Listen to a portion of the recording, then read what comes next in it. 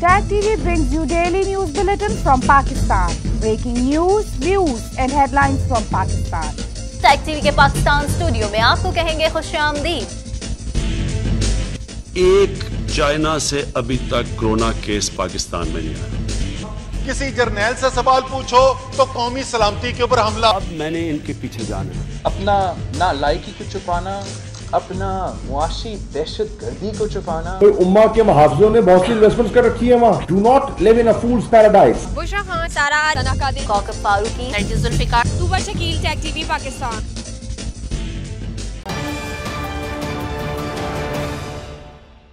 अस्सलाम वालेकुम नाजरीन टैग टीवी के पाकिस्तान स्टूडियो के साथ मैं हूँ रुखसार शहजाद। सबसे पहले शामिल करते हैं न्यूज़ हेडलाइंस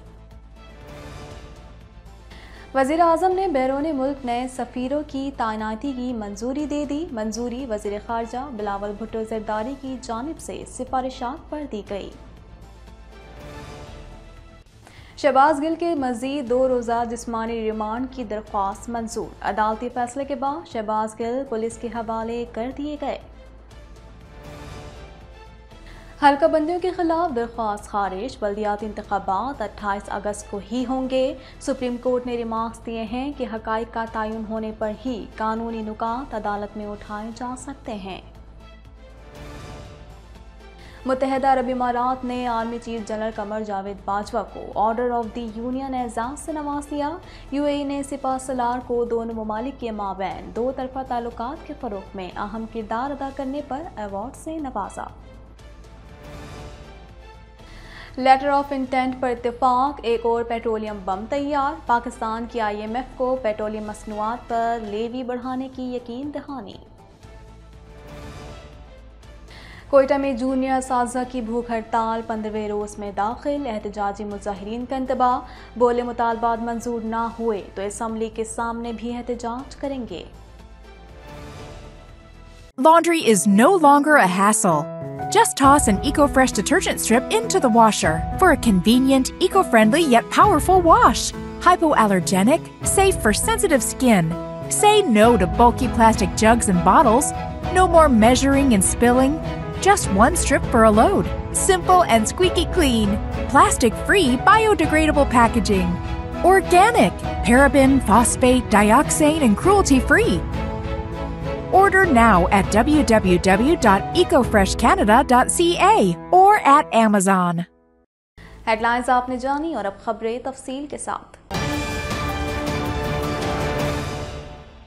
वज़ीर अजम शहबाज शरीफ ने वज़ीर खारजा बिलावल भुट्टो जरदारी की जानब से सिफारिशात मरतब करने के बाद बैरून मुल्क नए सफ़ीरों की तैनाती की मंजूरी दे दी। मजीद जानते हैं इस रिपोर्ट में।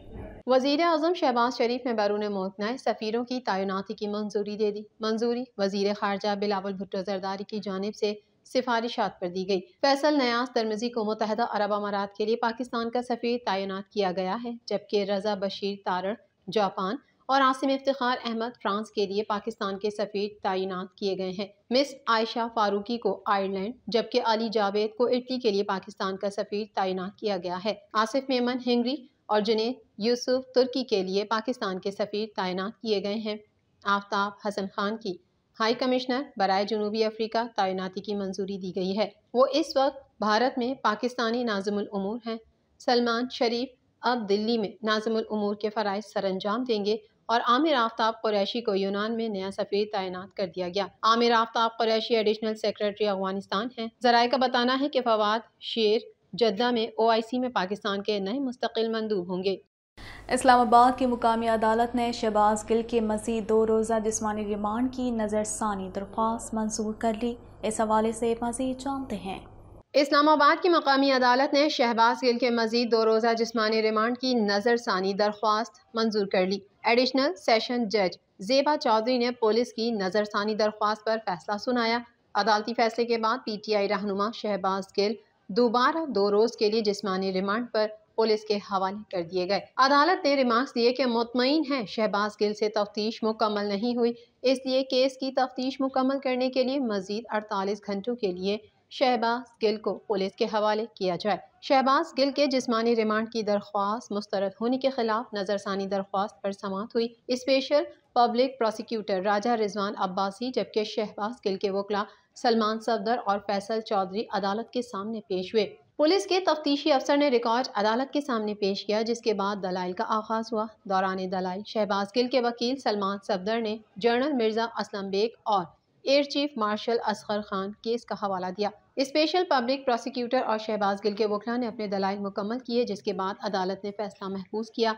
वाज रहे कि इस्लामाबाद हाई कोर्ट ने एडिशनल सेशन जज को जिसमानी रिमांड की पुलिस नज़रसानी दरख्वास्त दोबारा सुनकर फैसला करने का हुक्म दिया था। अदालत उज़मा ने हल्का बंदियों के खिलाफ एम क्यू एम की दरख्वास्त खारिज करते हुए सिंध में बलदियात इंतबात अट्ठाईस अगस्त को ही कराने का हुक्म दे दिया। इस हवाले से मजीद जानते हैं।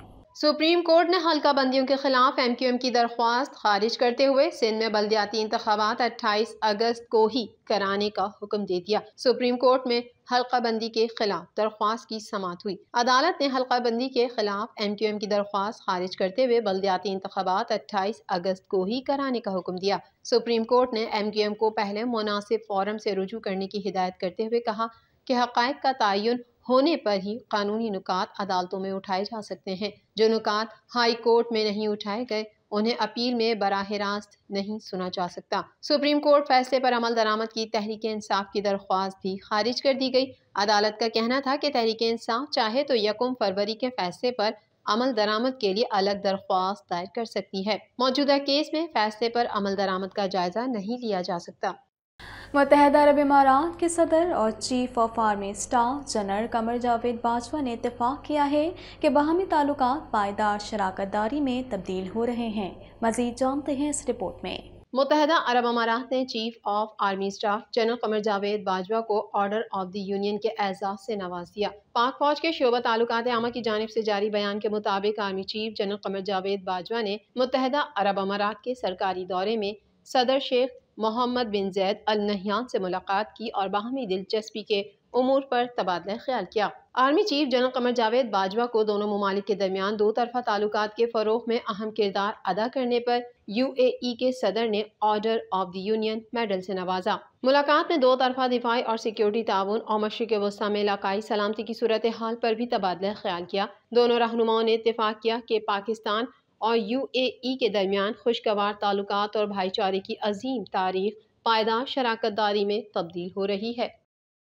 पाकिस्तान की जानब से आलमी मालियाती इदारे को पेट्रोलियम मसनूआत पर लेवी पचास रुपये लीटर तक बढ़ाने की यकीन दहानी करा दी गई। इस हवाले से मजीद जानते हैं।